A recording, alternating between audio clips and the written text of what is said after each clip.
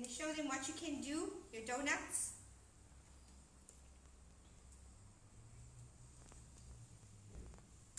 Right, she likes doing the piano.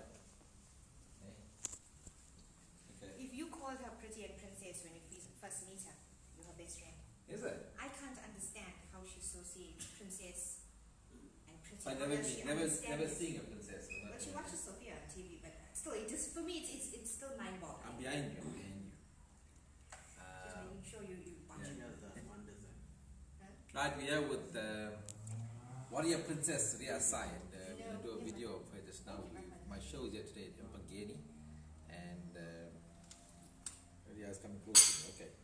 Um, you didn't come to me earlier, you went to my son, so now I'm here. And um we're doing a bit of a fundraiser today at my show at Umfolozi Casino. And we're just going to highlight uh, Ryah's condition to you guys in a short video, so you can join us as we get ready for the video. Got mom, yeah? Pen.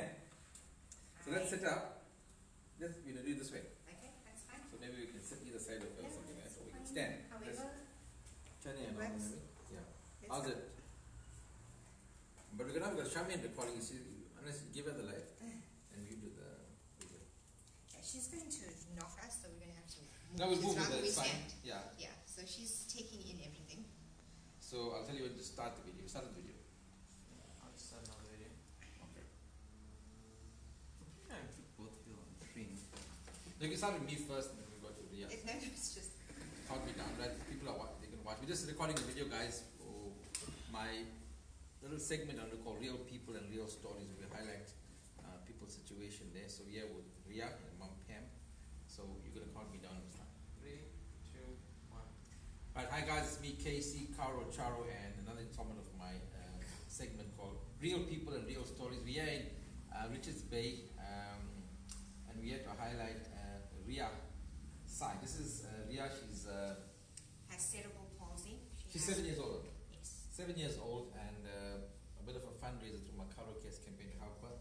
Mom Pam is yes, I Hi. Right, so Thank you so much. right, so uh, this is Ryah. She's seven years old. I'm here with Pam to give us a very quick insight as to what Ryah's condition is. Okay, Ryah has a brain injury. She is cerebral palsy, meaning that her muscles and movement is affected by the brain injury. She also has a host of other medical problems, um, like she has one and, uh, one kidney, problems with her digestive system, and also she has epilepsy. So those are just among the few things that So she if I has. correct you, but yeah, she was born normal. Yes, Ryah was born premature. She was born 33 weeks. But a few days after birth, she picked up a virus at neonatal. It gave her septicemia and multi organ failure and basically shut down. She was resuscitated three times, had 14 blood transfusions, and spent 74 traumatic days in hospital. So resus, what happened? Resus caused uh, also to have a. Well, it, it depends how, how quick they had resuscitated her or, or what had happened. did But the bottom line is she, her brain was deprived of oxygen. So areas of her brain have actually died and liquefied. So she has cysts have developed in her head. So, and that's now actually the brain injury that she has. Ryah doesn't eat uh, orally. No, Ryah doesn't eat orally. She can eat she, uh, small amounts, but not enough to give her enough nutrition. So what we do is she's PEG fed. Her stomach was fitted with a PEG and an extension, and that's where she gets all her nutrition. That's her water and her food. Ryah has gastroparesis, so the slow Let's just go to the of food story. You fish, she's fed through the through Yes. the like, special formula. Yes, that's the reason she she's fed a spe- special formula is because she has gastroparesis. The food doesn't move Yeah. as fast as ours would, and it would rot in her tummy. So she has to have a special medical formula. Okay. And uh, other conditions around there, your TRS going on. Well, So- muscles Yeah. are affected. Like you'd see, her hands are very stiff. They're spastic. They change. The tone will change, even with her feet. But organ muscles are also affected. So let me So let me go back to something first. Doctors didn't give her a hope though. No, they told us she may not see her first birthday. Well, basically, they said let her go two month, a month after birth. Yeah, that's what you When told me. she, She yes, when she was still in hospital, yeah. they said let her go. Um, and then they said, look, if she did survive that, she would be in a comatose state with a limited lifespan. So she was not expected to even see her first birthday. She's now seven. defying the odds Yeah. every day. Shaman, why are you so far away? Come closer. So she's supposed to be in a coma, but you can see she's very wide awake and So they didn't give her a chance to receive her first birthday. She's now seven years old. Yeah. and walking and awake. And I think you've also taken charge of her medication. What the the, the holistic care you're actually giving her. Yes, we've actually moved on to alternative treatments. So we use things like cannabis oil, Reiki, acupuncture, biofeedback, um, and then essential oils. All of those kind of mechanisms, but and medicines. We haven't just thrown away the Western medicine. We do use it from time to Yeah. time, but we've tried to use a collaborated effort when it comes to her treatment. So focusing on, on Ryah but the Thai and uh, going that side. Yes. And uh, just to let you know, she's actually quite uh, cognizant. Am I right? Yes, She, she's she's very aware of her Yeah. surroundings, um, but she battles to actually respond with someone who would understand. I understand her. like. Looking her, looking at her body language, she has a way of mouthing when she's hungry. That's what I'm asking. There's a Asking- communication. She's able yes, to she can ask you for Yeah. a kiss, and then different ways of crying. We will know. You know, there's times when she's tired or when she's in pain. The pictures are different, so you have to read her throughout the day. around. with her. Uh, throughout the day, I basically read her, and that's how we speak. Body language. So when she's sick, and if I ask her, "Are you okay?" she'll smile. That means she's in control. She's got this. If it's a bit overwhelming for her, she will not smile. She's done this consistently whenever she's. Well, as doctor said, she couldn't. She can't communicate. There's no. There's no. Well, you know, they, they said to us that she's nonverbal, but she calls me Inga, Yeah. and it's very clear. So I would say she's verbally challenged, and you know, when we go for the stem cell, there's no telling how the stem cell will affect her. It could help with her speech. So when is stem cell set for? The 5th of Jan. Yeah. Unfortunately, Where's this? Where's this? It's in India, in Mumbai, at the Neurogen Brain and Spine Institute. We were actually supposed to go in December on the 8th, but Ryah's got a few medical issues right now, infections that we need to deal with, and she's got two surgeries that she needs to have before we go to India. So moving forward, what's that's that's that's the plan for her. Moving Uh, forward, the, the stem cell treatment, and then just recently I found out about the Boston Children's Hospital, Yeah. where they have a center dedicated to cerebral palsy children. So you have a panel of doctors who look at all medical issues Yeah. that cerebral palsy children have. But what's good about them is that they work with a proactive method and a preventative method. So they'll look at scoliosis, the dysplasia, and monitor that in a child and prevent it from happening. Here in South Africa, we don't have that. Ryah currently has hip dysplasia and we didn't know it. So gonna cut down to something where um, I believe when Ryah comes close to me, she wants to check, she wants to interact with me. So there, there we go. Um, so come, come, come, come, come. So what did you say to parents when, like doctors? Sometimes we have an idea that doctors seem to know it all, but they don't know it all. And then I see you, you're very, you're very involved in the treatment you're getting, which is why you have got alternative methods. What have you learned from that? You I think tell- the tell- tell first step for me that worked was embrace your child. If you have a child that has special needs, has a brain injury, you're told, given the diagnosis, doctors have they don't have a subtle way of telling you. They take away all hope. They give you the worst case scenario. So don't lose hope. That's the one thing. Don't lose hope. Believe in your child. Learn as much as you can about your child. And don't compare your child to any other child. Your child's running their own race. It's a marathon, it's not a sprint.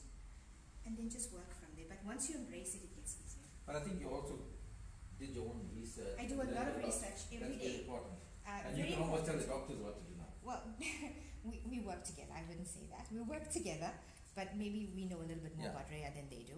Uh, each child with cerebral palsy, no two children will be the same. So what fits for Ryah will not necessarily fit for another child, but you can work around it. And when it comes to doctors here, we try to work with them. We get very involved in Ryah's treatment. They just don't make their own decisions. We're very involved in that, and we will always look at her safety and best interest. So nothing's taken for granted.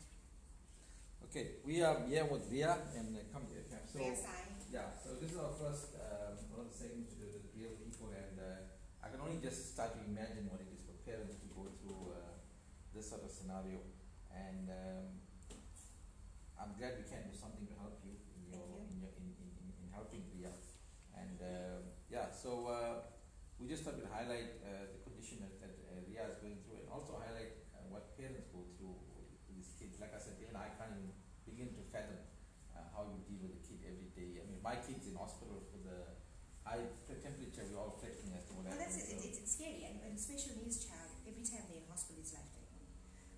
We started Ryah's page, Raising Ryah Sai, the warrior princess, to actually give other parents hope, to share information and create awareness. You know, in the beginning, and it happens now as well, we go out into public and I feed her because she's tube fed and people look in horror, they're not sure what's going on. So we educate. We actually very comfortable. But the reason I also do that is for Ryah to be comfortable with her differences. You know, she needs to know I am feeding out of a feeding tube and it's okay. I walk differently and it's okay. So we don't try to hide it from the public, but we create awareness so there's acceptance. And Yes, I that's think, what that, we're doing. I think that's important. So if people want to get in touch with you and help you, so you just give them the details, which page you can get them on. Uh, you can go onto a page, it's called Raising Ryah Sai or Warrior Princess, and my contact details are on the page. It's on Facebook. Right, Ryah Sai, Warrior Princess. Yes. So, right, thank you for your, your time in watching this, and hopefully you can uh, reach out to Ryah and uh, help them out if you can anyway. And I'm going to say right now, um, thank you. And that is our Warrior Princess there, that's her name, eh? Definitely a warrior princess, without Right. Thank you very much, and thank you for your time and Thank you us. yeah. for actually having this fundraiser to help us raise funds. I so appreciate it. No, Thank you so very much. kind. Right, thank you. You can carry on there if you want. So we with Ryah, is those of you alive, and this is uh, Ryah. Let's see if she's gonna come back to me. Yeah. She moves around in the space. Show them the space that she moves around in. This her own own uh, version. Yeah.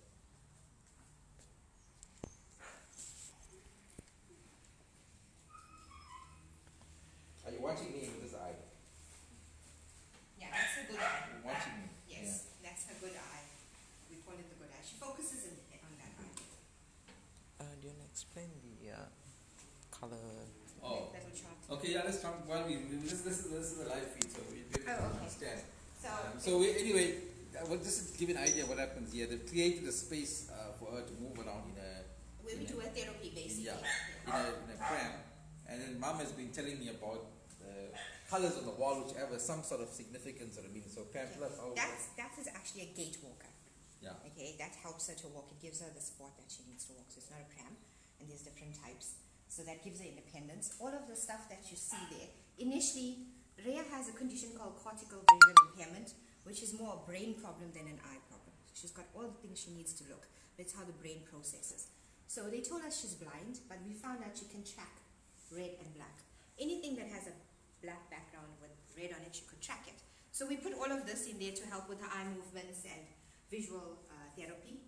And what we found out recently is we continued Yeah. doing research that just to test if she can look at other colors. So I just created this little poster to see how she reacts to it. And I do have a video of her responding to it. And she actually tends to pick up on the darker lot, but something that's not clustered. So it needs to be away from the others. These were too busy for her. She would actually come to the poster and stand there and look. This used to be her friend. So she would come in the mornings and come straight and stand here with this ladybug. So now it's the poster. We notice that you can see other colors like orange and yellow, brighter colors. So it's, it's with cortical vision, it changes over time, but again, therapy is very important. Okay. Just on the stem cell issue. Um, this is the first stem cell, first first uh, stem cell she's. Yes, this is the first round of stem cells she's going for. Uh, we don't know what the outcome is. Yeah. You know, people have a perception that when Ryah comes back from India, she's going to be Yeah. walking and talking. I just want to stress on that. We have no idea how it's going to impact, but we know it will impact her. So Because yes, everybody sees stem cell as the as, as, the way to go. yes, but it's a process. You know, yeah. um, it also depends on the severity of the brain injury. Is she going to going for a specific thing? Stem cell is treating a specific condition of hers, or is it a holistic Quick overview on how the stem cell is going to work. We're not using donor cells. We're using her own cells. Okay. So they're going to harvest it from her hip. They will choose the specific cells that they need, and it will be put in through a spinal fluid going into her brain. So what are we we hoping is with Ryah's brain injury, there's areas that died and liquefied, they cysts. These cells have repairing and regenerating qualities. So we want Yeah, so to that's uh, to repair those- that's yeah, it, and regenerate those Yeah. cells. So when that happens, there's no telling how she's going to, you know, behave and what's going to. But it's also a process.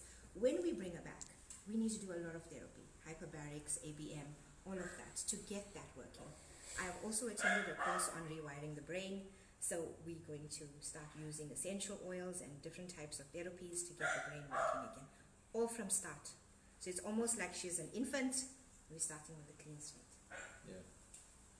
So when is this uh, stem cell going? When when going On the fifth of Jan. Yes, she's uh, in India. Her schedule. She's been scheduled for the treatment. Yeah, of the is, uh, all of you your family? Yes, my son will come with us, Yeah, and and, my long will they husband is a team of four. It's basically a week. Yeah. We'll be back on the 11th. The stem cell is just for a day, and the rest of the days we book in on a Sunday and we're out on a Saturday. And during the week, they teach you a lot of therapy that you need to now apply at home. And after six months, they would want her back. They will then compare her scans, her brain scans, to show the areas that now are starting to function better. And they will decide then whether she needs to come back again or whatever the issue is. Okay, so it's quite interesting, and uh, I was I'm glad I made the time to come here today. So we can end. We'll just finish off with yeah. This is a what is it? The gait walker. It's a Is it specifically designed for the or you or you, adapted Okay, it? we know this is bought from um, RDT, but it's a German company and it's we import it. We get it. Come, Kaylin. Kaylin. Yes, Kayulan. Kaylin. Hey, he's willing to come. Others say no. I don't want to come in this video. Come. He's used to going around with Yeah. his sister. So come here. Tell us what it's like for you as a younger, older brother. How old are you? Twelve. Twelve. And has it been hectic for you? Like too much pressure on you? A lot of pressure. Yeah. Tell them who are watching. Yeah. A lot of pressure. No. Telling me. It's a lot of pressure. Yeah. Yeah. But you're coping. Yeah. Not that bad. Yeah. He wrote a short story recently Yeah. about being the brother of the warrior princess. Yeah. So yeah, it's, it's quite interesting to read. How old are his you now? You are Twelve. twelve. Yeah. You can you know how to look after, take out the seizures and all of that. So let me say big up to you, man. For your age and for your listening, well done. For your sister and uh, most uh, children uh, your age want to be playing outside, Yeah. but you.